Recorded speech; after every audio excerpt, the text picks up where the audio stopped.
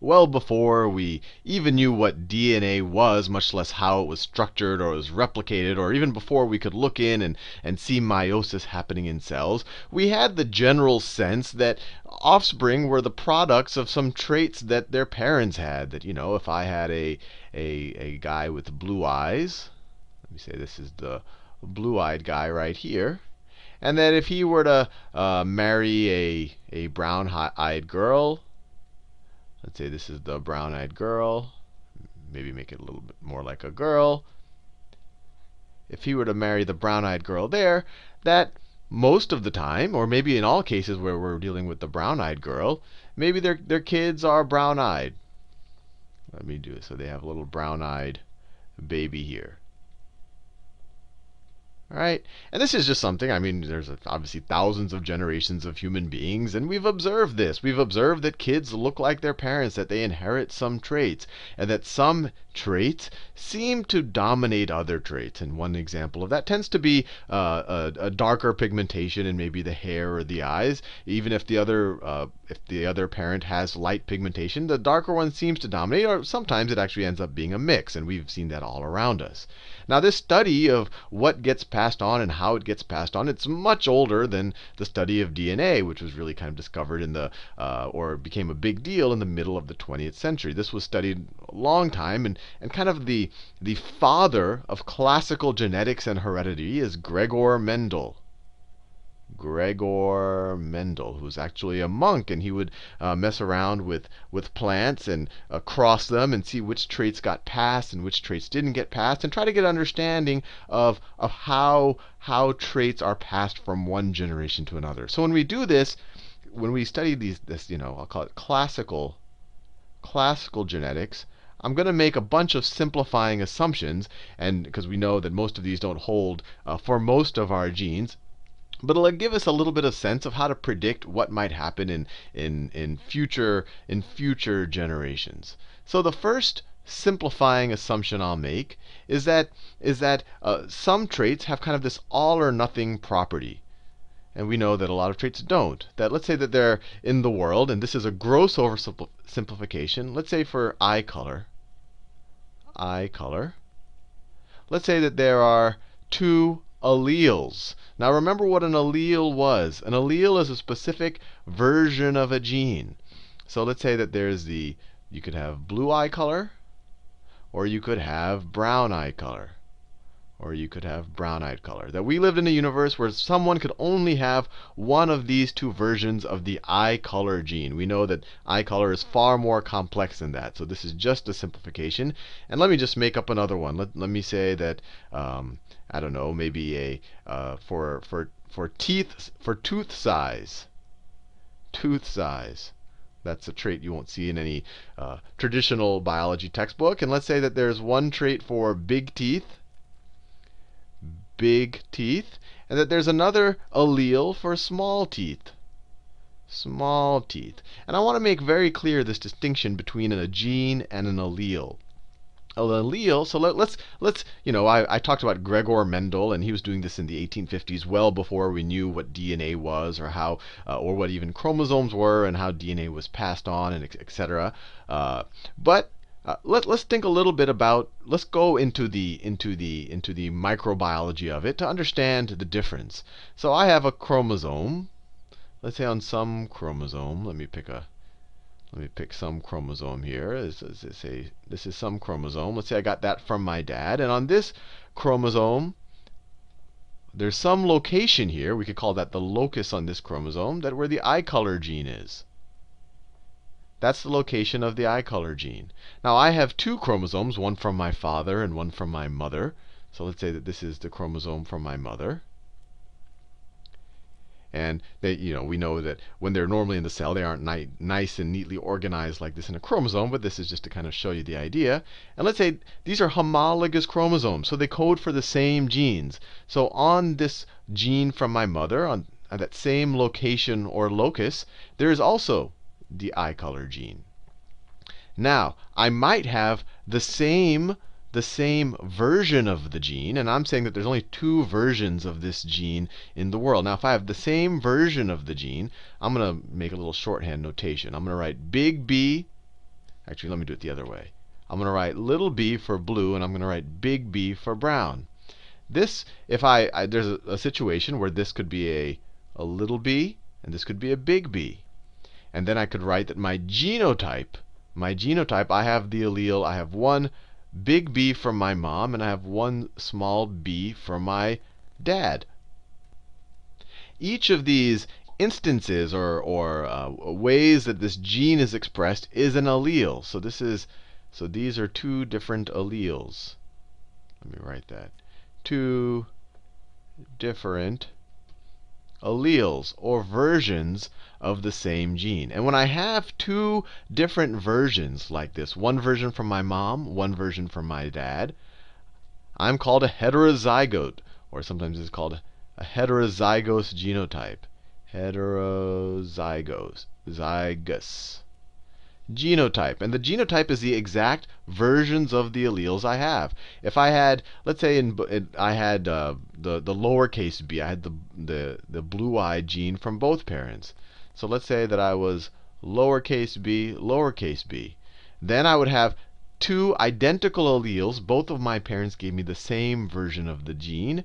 And in this case, I'm called this, this genotype is homozygous. Zy, or this is a homozygous genotype. Or I'm a homozygote for this trait. Homozygous. Now you might say, Sal, this is fine. These are the traits that you have. This case, you know, I have a, a, a brown from uh, maybe my mom, a, a, and a blue from my dad. In this case, I have a blue from both my mom and the dad. How do we know whether my eyes are going to be brown or blue? And the reality is, is it's very complex. It is a whole mixture of things. But Mendel, he studied things that uh, that that that showed what we'll call dominance. Dominance. Dominance. And this is the idea that one of these traits dominates the other. So a lot of people uh, originally thought that eye color, especially blue eyes, was a was always dominated by the other trait. So we'll assume that here, but that's a gross oversimplification. So let's say that brown eyes are dominant. Brown eyes, brown are dominant. And blue are recessive.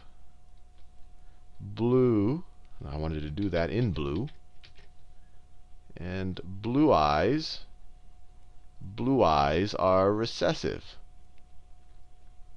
If this is the case, and this is a, as I've said repeatedly, this is a gross oversimplification, but if that is the case, then if I were to inherit this genotype, because brown eyes are dominant, remember I said the big B, the big B here represents brown eyes. You won't, and the, the, the lowercase b is recessive. All you're going to see, all you're going to see for the person with this genotype is brown eyes. So let me do this here. Let me write this here. So genotype, genotype. And then I'll write phenotype. And phe genotype is the actual versions of the genes you have. And then the phenotypes are what's expressed, or what do you see. So phenotype. So if I get a brown-eyed gene from my dad, and I'll like do it, it's a big, I wanted to do it in brown. Let me do it in brown so you don't get confused.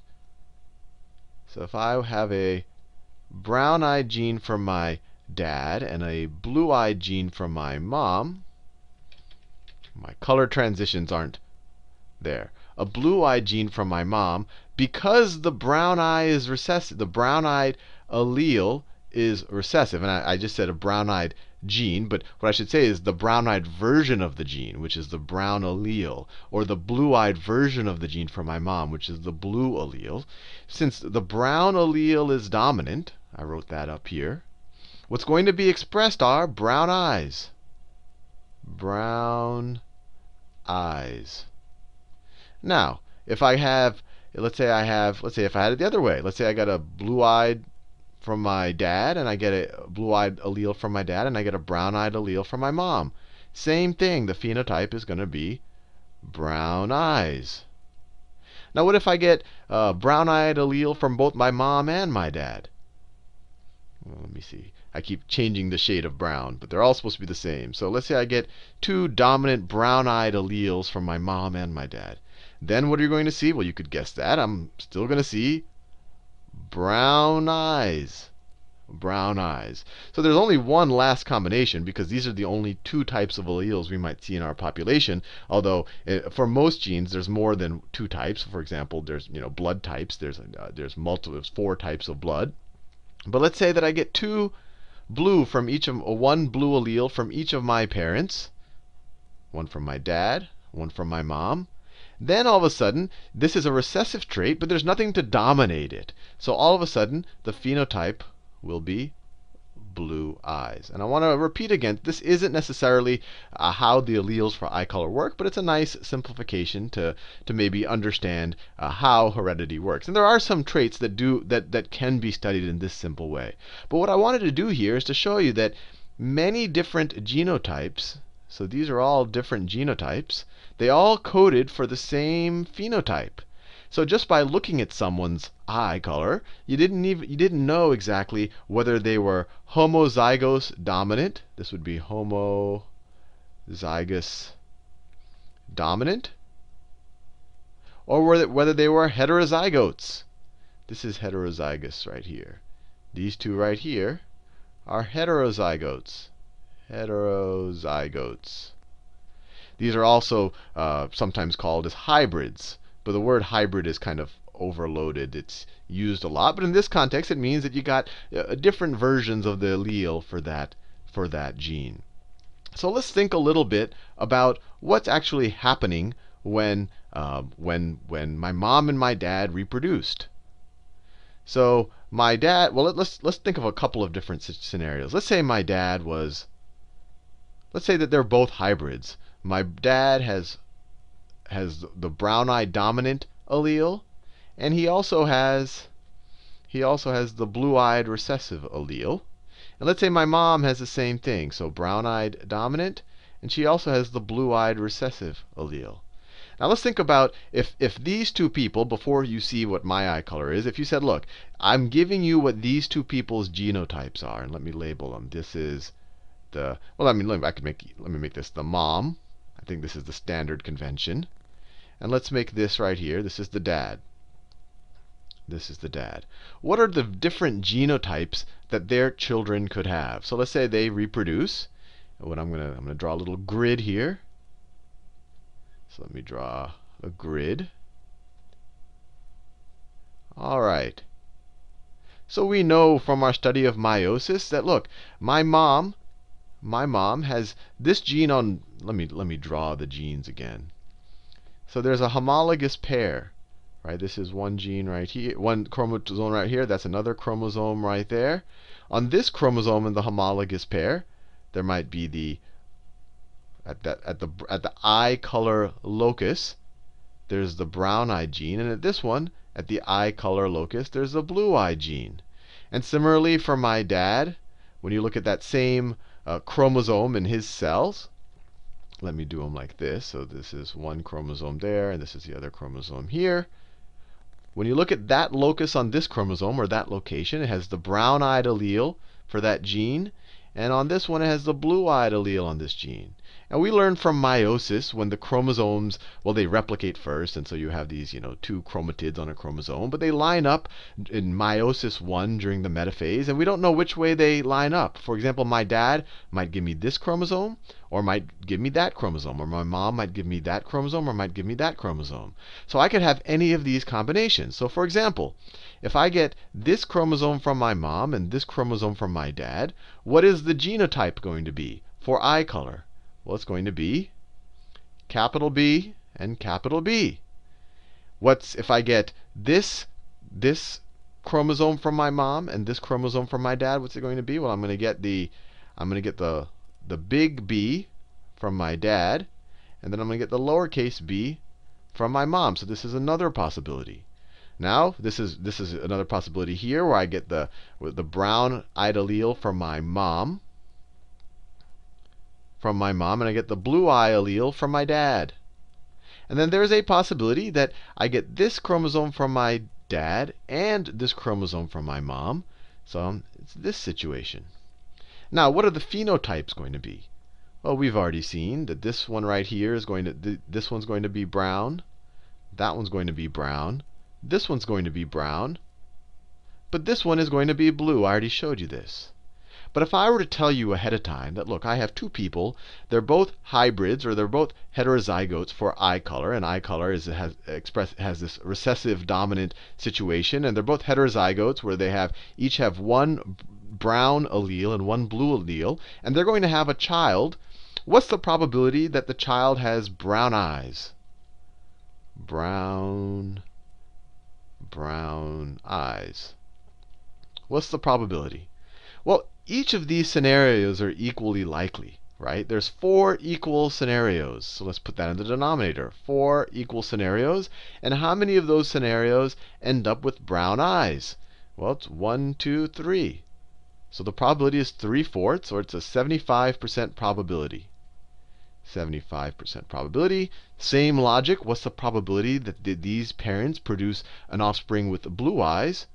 Well, that's only one of the four equally likely possibilities. So blue eyes, blue eyes is, is only 25%. Now, what is the probability that they produce a heterozygote? So what is the probability that they produce a, a heterozygous offspring? Heterozygous. So now we're not looking at the phenotype anymore. We're looking at the genotype. So of these combinations, which are heterozygous? Well, this one is because it has a mix. It's a hybrid. It has a mix of the two alleles. And so is this one. So what's the probability? Well, there's four different combinations. All of those are equally likely, and two of them result in a heterozygote. So it's 2 fourths, or 1 half, or 50%. So using this Punnett square, and of course we had to make a lot of assumptions about the genes and um, whether one's dominant or one's recessive, we can start to make predictions about the probabilities of, of different outcomes. And as we'll see in future videos, you can actually even go backwards. You can say, hey, given that this couple had five kids with brown eyes, what's the probability that uh, they're both uh, heterozygotes or something like that? So it's a really interesting area, even though it's, it, it is a bit of uh, oversimplification, but many traits, especially uh, some of the things that, that Gregor Mendel studied, studied can be studied in this way. Thank you for watching this video. Don't forget to like the video.